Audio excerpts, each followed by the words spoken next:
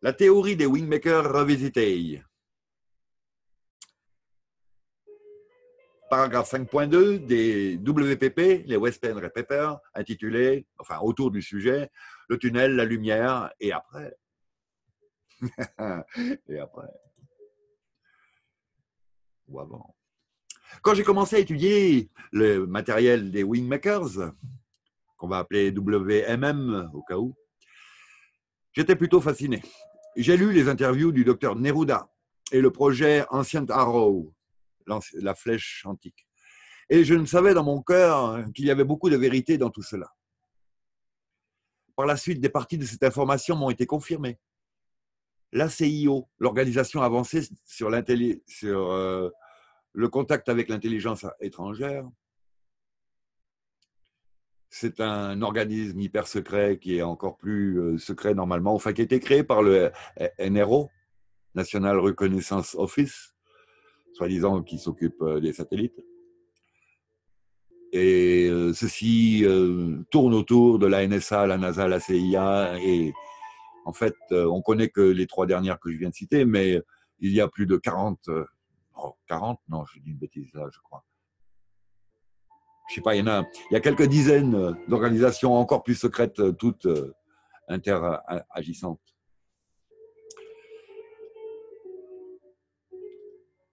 Donc, par la suite, des, parties de ces informations m'ont été confirmées par la CIO, qui est un vrai groupe, et une partie de la NSA. Finalement, je parle trop vite, moi. Et à son siège social dans la région éloignée de Pine Gap, en Australie. Je sais que de première main qu'ils existent, parce que j'ai eu de la correspondance avec eux. non, en général, c'est pas bon quand ils commencent à s'intéresser à toi, à moins que tu sois un pote. Ah ça, ça amène les Men in Black alors à toute vitesse. Et là, on a besoin de soutien. Lorsque j'ai commencé à en lire davantage sur le site des Wingmakers, j'ai remarqué que le personnage avait changé de personnage quelque part en 2001. Les informations publiées après cela, notamment les pages euh, sur les questions euh, couramment posées, les FAQ ou les FAQ. les interviews audio et les articles étaient en général plus discutables et le contexte n'était plus aussi inspirant qu'auparavant.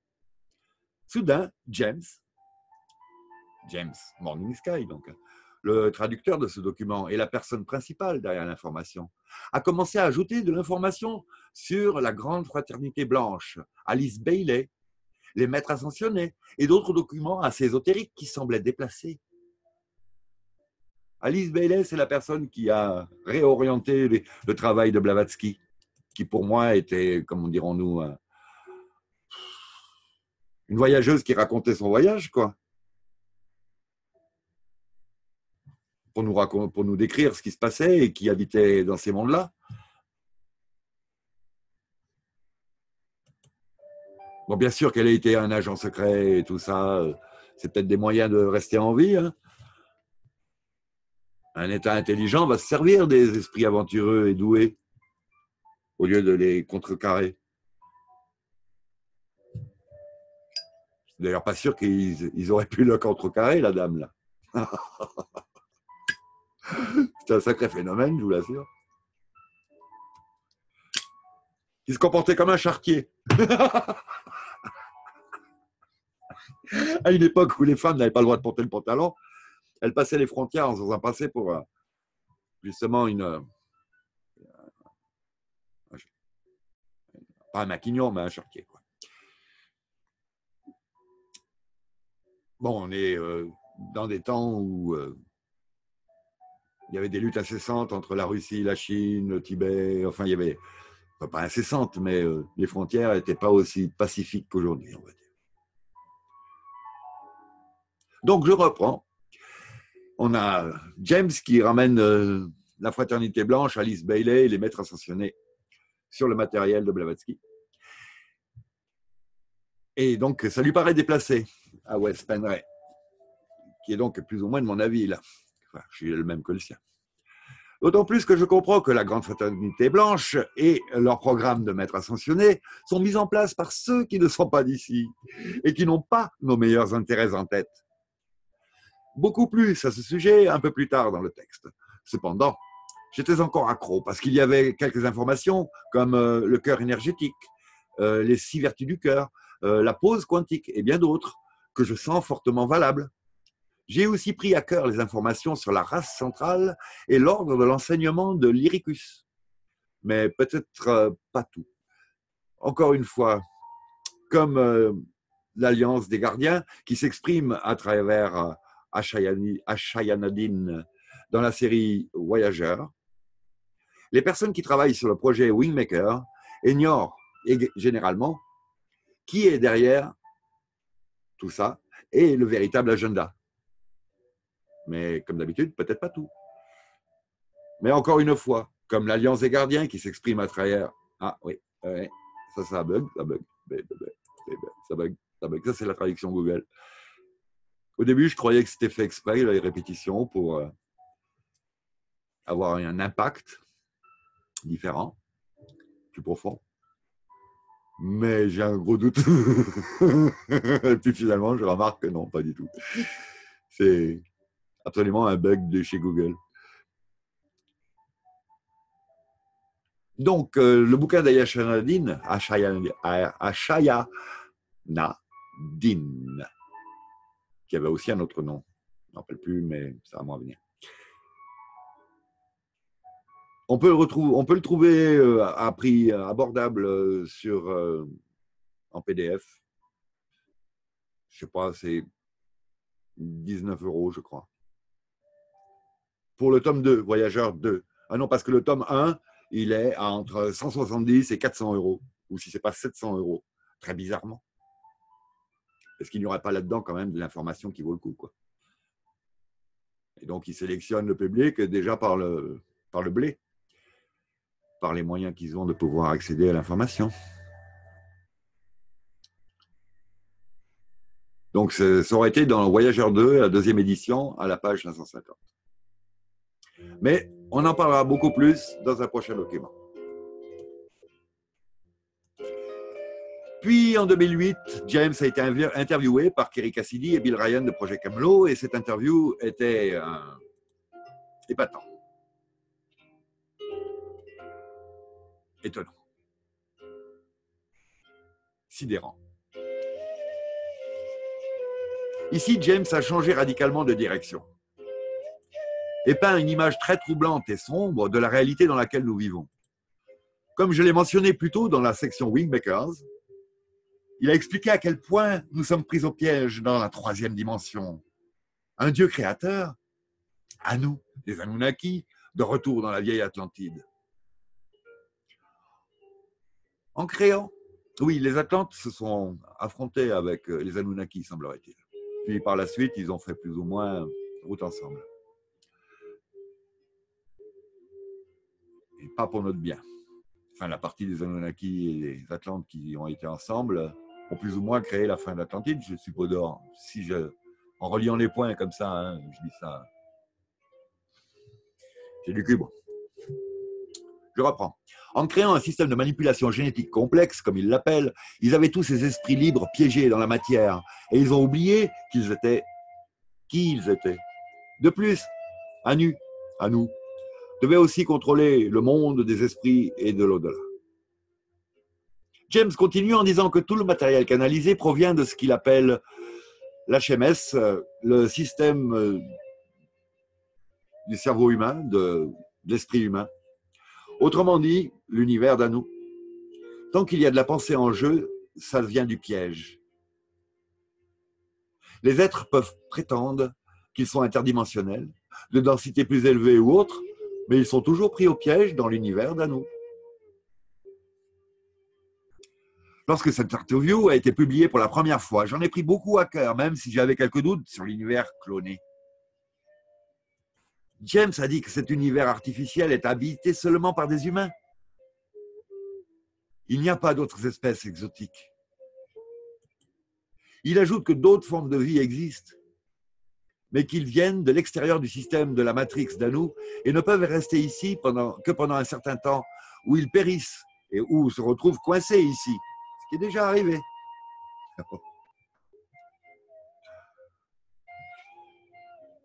Il ne fait aucun doute que cet univers est habité par une abondance de formes de vie différentes. Les formes de vie connues dans la Voie lactée et au-delà, traitées dans mon article de physique WPP, euh, article de physique numéro 2, en traite, en parle. Au cours de la dernière année, j'ai lu beaucoup de choses sur ce qui existe. Et c'est assez étonnant ce que certains humains savent, ce qui n'est pas bien établi dans les cercles de recherche sur les ovnis. Une grande partie a été supprimée, bien sûr en raison de la nature de l'information, mais certaines d'entre elles sont également assez avancées. Un très bon début est le livre électronique gratuit Alien, Mind, l'esprit alien, l'esprit étranger peut-être, l'esprit alien, par Georges Lobuono. Il vous emmènera sur un trajet que vous n'avez même pas encore été proche, dont vous n'avez même pas encore été proche. Cela vous fera comprendre comment les extraterrestres pensent, comment ils sont répandus à travers le multivers, d'où ils viennent, comment ils sont connectés à nous, les humains, et pourquoi il est difficile de commencer à comprendre le phénomène extraterrestre sans avoir lu ce livre? Le fait que nous ayons été contactés par des IT, qu'ils soient physiques ou des euh, hypervaisseaux, c'est-à-dire euh, non physiques, on va dire en tout cas, des entités qui existent de façon interdimensionnelle, sans corps, ou peuvent transférer un corps sur de longues distances dans l'espace et le temps, est évidemment et contredit certaines parties de l'histoire de James sans aucun doute. Bien que je crois qu'une partie de cette interview est vraie, cela montre que James a un agenda caché. Quelque chose que je n'ai pas perçu dans son matériel antérieur le matériel des Wingmakers, antérieur à l'arrivée officielle de James. Je reprends. Je montrerai que le signe Wingmaker a été, repris par une certaine force E.T. L'auteur du matériel Wingmaker a été remplacé par ce mystérieux James. Pas si mystérieux en fait, tel que je vais le démontrer. La question est, qu'est-il arrivé à l'auteur du premier site? Selon les membres du LPGC, le Life Physics Group de Californie, un système d'esprit humain d'un genre décrit par James dans l'interview de Camelot n'est pas possible non plus parce que la physique ne fonctionne tout simplement pas de cette façon. Pourtant, je ne voudrais pas jeter le matériel des Wingmakers si facilement. Il y a beaucoup d'informations utiles là-dedans, en particulier à partir de la première matière. Mais aussi les exercices de respiration et les vertus du cœur. Encore une fois, il ne s'agit pas de jeter le bébé avec l'eau du bain, mais apprendre à discerner les bonnes informations des, mauvaises. Mais si l'affirmation de James que nous sommes coincés dans un univers cloné tombe à l'eau, il en va de même pour sa théorie de l'au-delà. Au milieu, c'est de la désinformation, et même si elle a encore une part de vérité, mais pas de la façon dont il l'a décrit. 5.3 ah, David Icke et la matrice de la Lune revisitée. J'ai toujours, à propos de Lune, j'ai toujours trouvé fascinant David Icke et son travail. Je l'ai suivi de temps en temps depuis son livre La rébellion des robots, qui a été publié dans les premières années 90. Je l'ai lu en même temps que je lisais Les Dieux d'Éden de William Bramley et William Cooper, euh, Bill Cooper, William Cooper's Behold Pale Horse, voici un cheval blanc. Et devant, ah, et devant 20 un cheval blanc. Enfin, c'est le quatrième ou cinquième cavalier de l'Apocalypse, quoi. D'après euh, William Cooper, qui était très, très chrétien, hein, quand même. Je crois que Ike a fait beaucoup pour révéler des choses qui se passent dans les coulisses. Et ses âmes sont souvent justes. Je suis même prêt à adopter ces théories reptiliennes dans une large mesure. Retour à la matrice de la Lune. Quand j'ai lu le livre d'Ike sur le sujet, je l'ai trouvé très intrigant et peut-être vrai. S'il est vrai que les hyper-versos reptiliens les hyper vaisseaux, euh, enfin,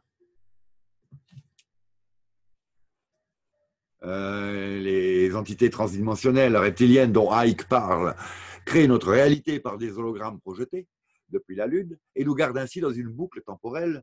Les mêmes entités pourraient aussi être en charge des plans astraux de la Terre. Je suis surpris que Ike n'ait pas fait ce lien, mais d'un autre côté, peut-être qu'il travaille sur cela dans son prochain livre. Les expériences que les sujets du docteur Newton ont eues pourraient alors faire partie de la programmation. Et les sujets ne sauraient jamais. Ils diront tout simplement la vérité de la façon dont ils ont vécu leur vie après la mort. Ils sont incapables de pénétrer l'hologramme car ils ne sont même pas conscients qu'il existe.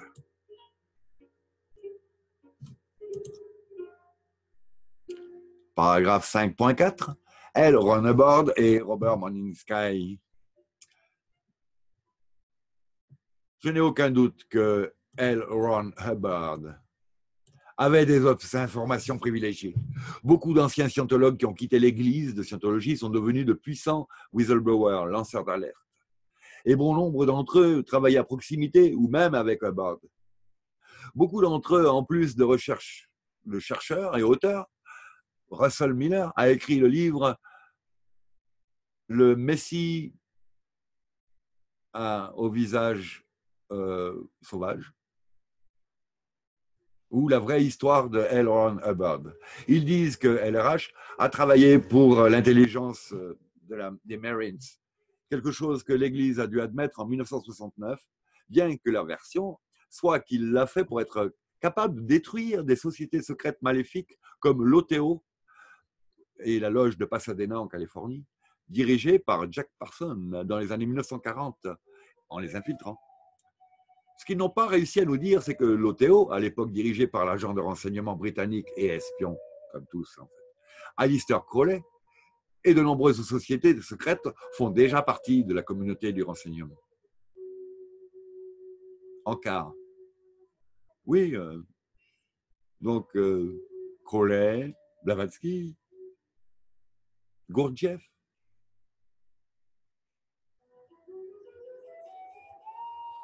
euh, l'Israélien qui tordait les cuillères, ben voilà, ils ont tous un pied euh, dans les deux mondes, dans les trois mondes. C'est-à-dire la, réalité, le monde d'à côté et les services de renseignement. Bon, vous mettrez euh, chacune des jambes à sa place.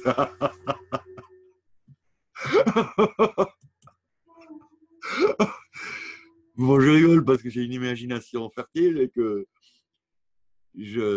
ça, ça ressemble beaucoup au vaisseau Anunnaki euh, tel que camouflé, avec les ailes sur le côté, le rond, et puis Azuya Marda au milieu. Mazda. Oui, donc, euh, rapport à mon rire, euh, à mon imagination, ben, je mettais un pied dans chacun des mondes et la troisième jambe, ça représente les services de renseignement et on voit bien à quoi elle sert, la troisième jambe, en général.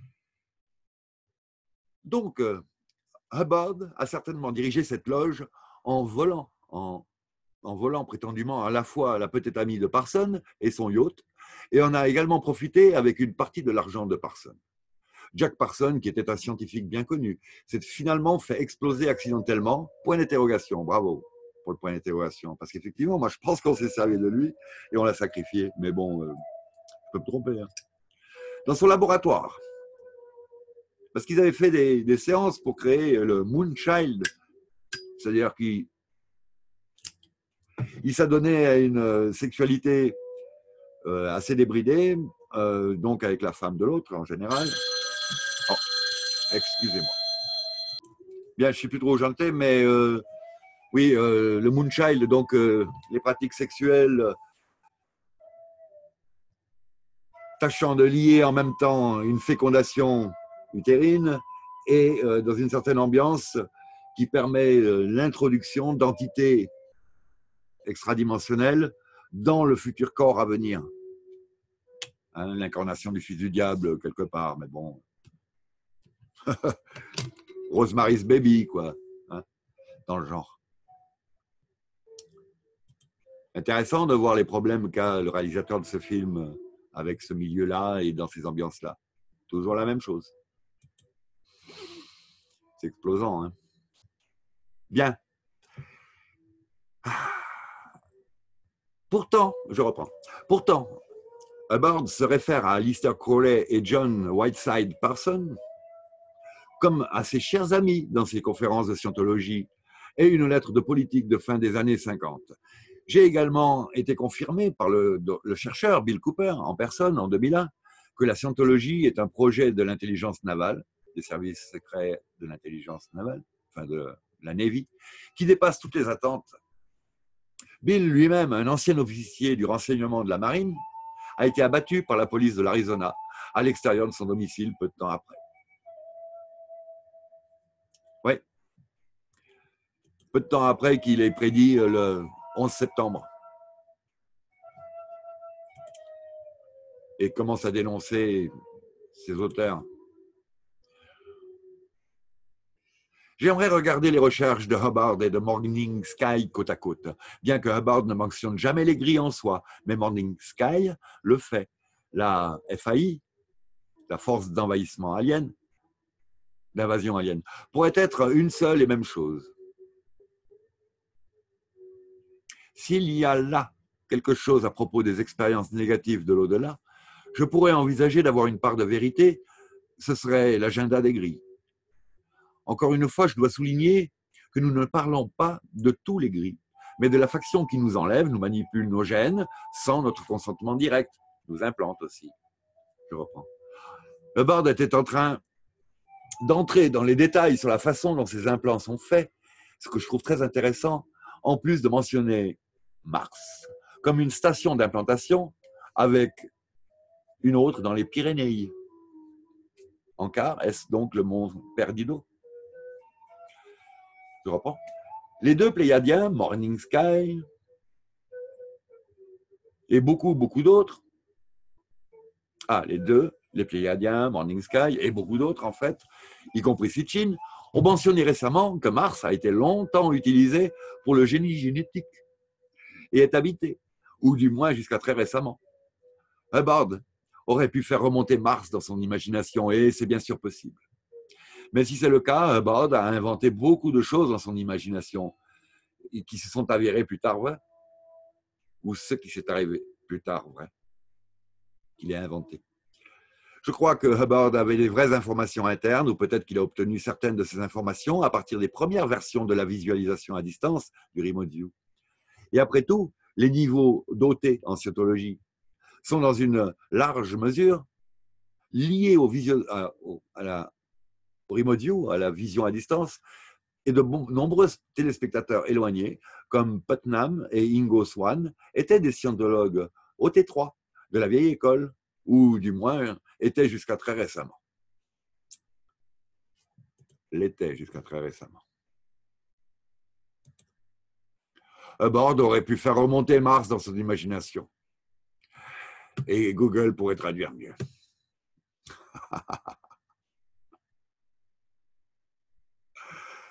Morning Sky, comme Hubbard, avait de nombreuses critiques sérieuses.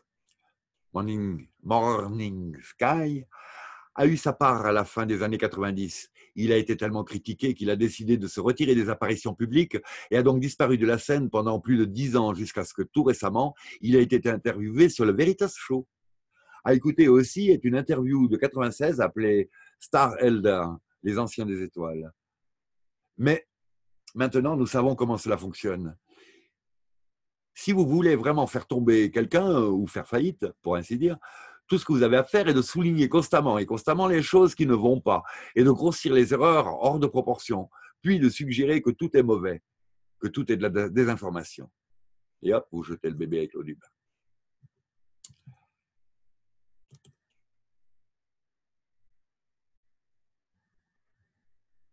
Si nous tombons pour cela, Nous sommes, donc si nous tombons dans le piège, nous sommes dans un voyage non productif. Personne ne vous dira la vérité sur quoi que ce soit. Surtout pas toute la vérité sur quoi que ce soit. Nous devons nous débrouiller en choisissant un joyau ici et une gemme ici ou un gemme là et de les classer par coureur, par couleur, au sens figuré. Je crois que Morning Sky a fait du bon travail. Avec ce qu'il avait à sa disposition, pour faire des recherches sur nos ancêtres, les Anunnaki et les reptiles d'Orion. Une grande partie de l'information est censée venir d'un visiteur vedette que ses ancêtres Hopi ont sauvé d'un crash ovni. Mais Robert a également fait ses propres recherches pour mettre les choses ensemble. Il raconte une histoire assez intéressante dans les Terra Paper, particulièrement à propos du temps avant que les Anunnaki, les Orions et les Gris ne viennent sur Terre. Et oui, là, pardon, encore. Oui, là, là, cette époque où la Terre était sous une autre union et une autre ambiance.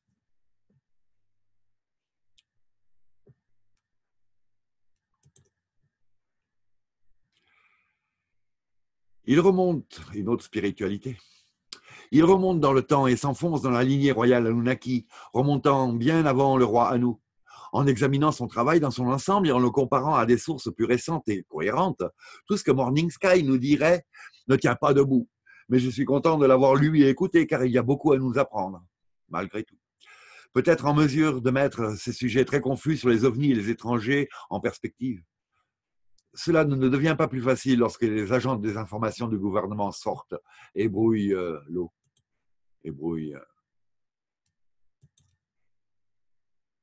Je n'ai aucune preuve solide à présenter à propos des grilles étant la force de l'envahisseur, la FAI, la FIA, la force d'invasion alien.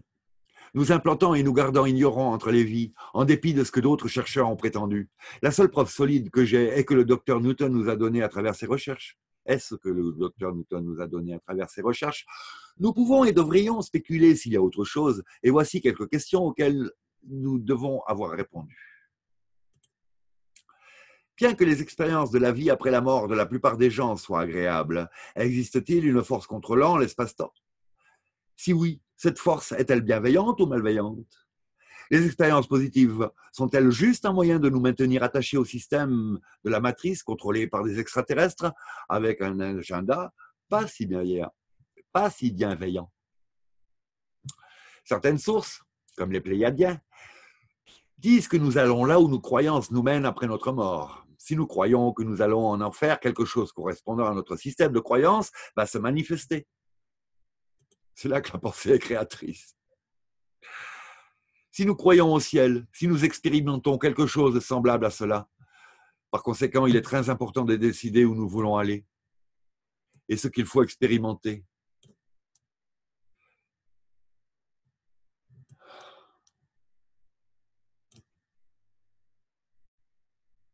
Cela a du sens à un certain niveau, bien qu'il semble que presque tous les sujets du docteur Newton vont au même ou dans un endroit similaire. Un certain nombre de sujets du docteur Newton décrivent l'espace-temps comme étant courbe, ce qui signifie que c'est une sphère et donc qu'elle est finie. Mais qu'est donc exactement que cette sphère? L'atmosphère. Avant de terminer, j'aimerais m'adresser à Edgar Cressy et aux autres témoins. 5.5. La section Edgar, c'est qui? Pardon à vouloir des effets de son, je bafouille, comme d'habitude.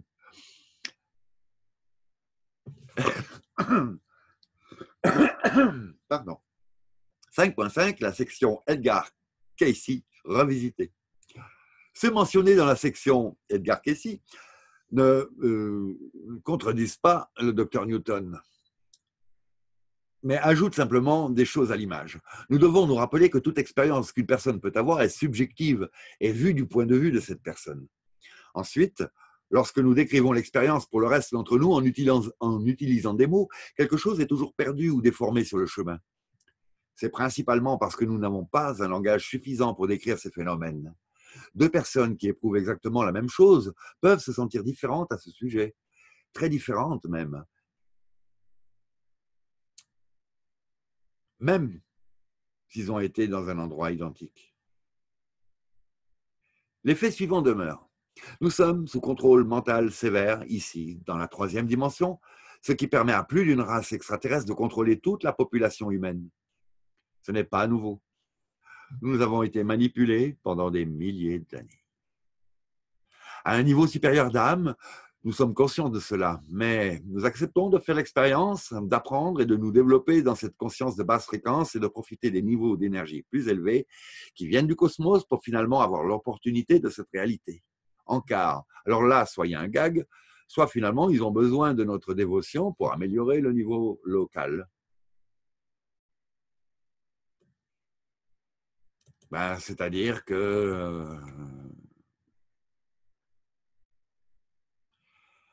euh, il y a des gens qui vont rester dans un groupe euh, qui n'est pas vraiment à leur niveau pour euh, partager et aider à ce que le niveau du groupe monte. Et puis il y a des d'autres qui, par un égoïsme plus poussé, vont préférer avoir toujours du plaisir en communiquant avec des gens de leur bord et en étant moins frustrés peut-être aussi. Mais du coup, la situation évolue peu.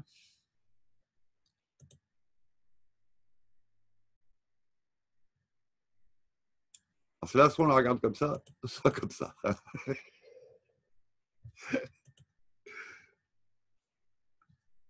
J'ai triché sur la photo, là. Vous arrivez à le voir?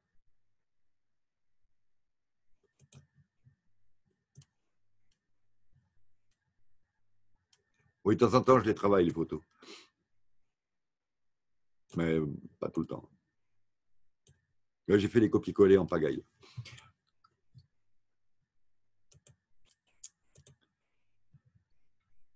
Où en suis-je?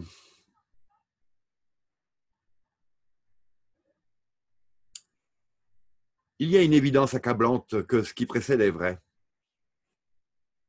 Et cela signifie que le monde des esprits doit avoir été ajusté à la réalité en 3D. Nous avons besoin d'un lieu de repos entre les vies et nous l'avons eu.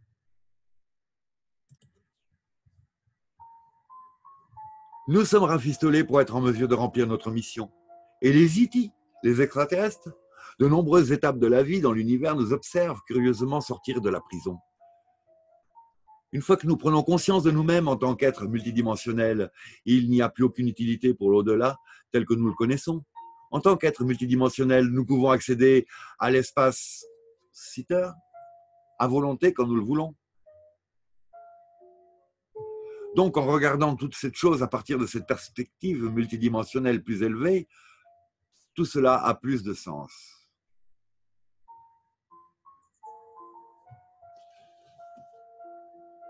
Donc, euh, l'espace sitter, c'est l'espace gardien, comme babysitter.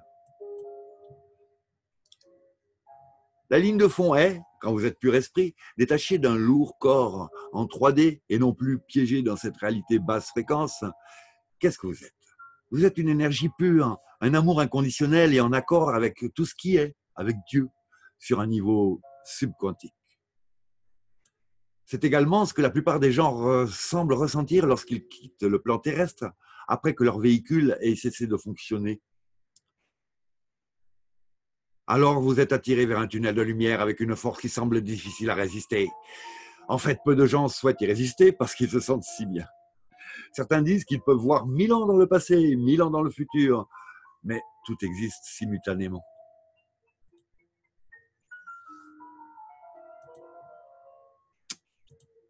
La question ouverte est quel est ce tunnel de lumière qui vous amène apparemment en un espace-temps sphérique et qui est évidemment fini s'il est sphérique? En raison des recherches de Michael Newton, nous savons très bien ce qui se passe de l'autre côté du tunnel, mais nous ne savons pas qui est en charge de l'au-delà. L'esprit pur, rencontrer des parents ou des groupes d'âmes ressentant une énorme quantité d'amour pour tout le monde et tout. En ce sens, l'au-delà semble assez bienveillant. Cependant, et je n'essaye pas de jouer l'avocat du diable ici, pourrait-il être que l'au-delà est toujours contrôlé par les mêmes forces qui contrôlent notre troisième, densité, alias les Anunnaki et les reptiliens? Il écrit. Se pourrait-il qu'ils piègent des esprits purs, pleins d'amour, mais naïfs, dans leur nouvel état natif? En nous forçant à entrer dans ce tunnel. De l'autre côté du tunnel se trouve un autre hologramme. Ils échangent juste une réalité holographique pour une autre. C'est bien d'être bienveillant tant qu'ils savent qu'ils peuvent nous redescendre dans un corps, parce que ça, parce que c'est ce que tout esprit est programmé pour faire, revenir à la troisième densité à nouveau. Cet argument pourrait être sans fondement mais je ne peux m'empêcher d'être méfiant à propos du tunnel. Qui en a le contrôle? Et qui sont les membres du conseil? Et qui est au-dessus d'eux? Qui est au-dessus d'eux? Ma. Ça évidente. Le conscient peut se demander, qu'en est-il de la vie sur d'autres planètes alors? Ne vivons-nous pas différentes vies sur différentes planètes? La réponse est très certainement oui. Cependant, et cela sera expliqué dans un autre article, l'oversoul, l'âme supérieure, est fragmentée en fragments d'âme plus petites, où chaque fragment est incarné sur différentes planètes et dans différents espaces-temps. Quand cela est compris, mes préoccupations ci-dessus ont plus de sens. Par conséquent, je vous suggère de revenir à ce document une fois que vous aurez lu le reste.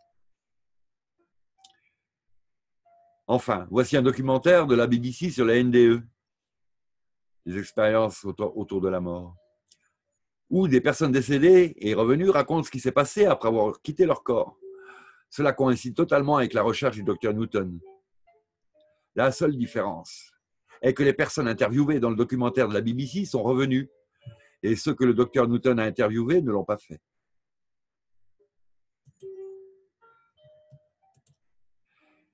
Et voilà.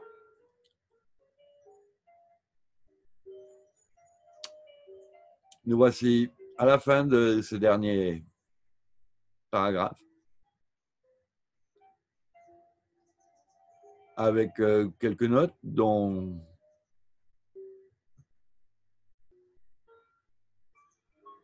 Je vais préciser par exemple qu'ils font la distinction entre le vide du monde des esprits et le vide décrit dans le modèle de travail dans les papiers physiques numéro 1. Explorer le unum, le 1. Une note sur les walk-in, qui sont une âme qui prend le corps d'un biokind, d'un corps euh, déjà vivant. L'âme originelle sort et la nouvelle âme prend le dessus. Cela peut être fait par la force mais c'est quelque chose qui est le plus souvent convenu entre les vies pour un but ou un autre. Alors, par exemple, euh, Franz Bardon a pris le corps d'un jeune homme qui est mort en adolescence, d'une manière volontaire. Les deux ont échangé leur, euh, leurs existences. Enfin, il me semble qu'il disait ça.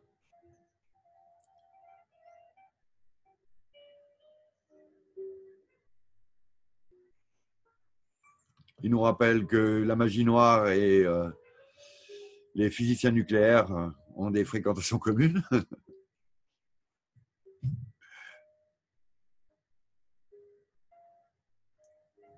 Je ris, mais c'est pas drôle. Et euh, bon, voilà. J'espère que vous avez réussi à comprendre presque mieux que moi ce que je viens de lire. C'est pas tout facile. Je lis en même temps que vous, hein, je découvre. Donc, euh, c'est différent l'état d'esprit qu'on a lorsque, et la compréhension lorsqu'on lit à voix basse, à voix haute ou, pour soi-même. D'ailleurs, il était dit quelque part que pour bien comprendre et posséder un texte, il fallait le lire trois fois. Une fois pour soi, une fois à voix basse et une fois pour les autres. Donc, euh, sur ce dernier conseil venant d'ailleurs, je vous remercie d'avoir suivi. J'espère que ça vous a plu. Je vous souhaite bon courage et je vous dis à bientôt. Salut